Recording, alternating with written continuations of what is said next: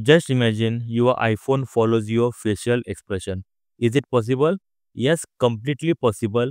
It is a new feature in iPhone called head tracking where you can easily control your iPhone or multiple tasks just by your facial gestures. And today's video we will see how to activate this and how to set up on your iPhone for a easy task, right? So let's start the video and check out the method here.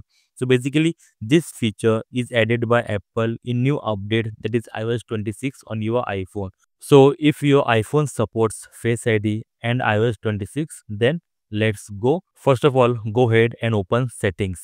In settings open accessibility and here scroll down and there is an option called head tracking. Just go ahead and open that.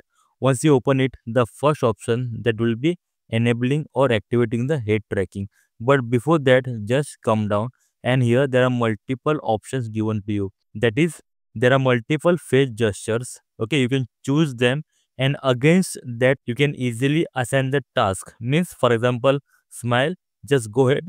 Against the smile just give a task. For example opening the camera or going to home something like that right? So each action each facial gesture will have a action or task right just do that complete everything. Once you do that now the next step. Remaining things you can keep same like tracking mode otherwise pointer speed or anything else. Just keep as it is shown in the video. After that go ahead and activate the head tracking.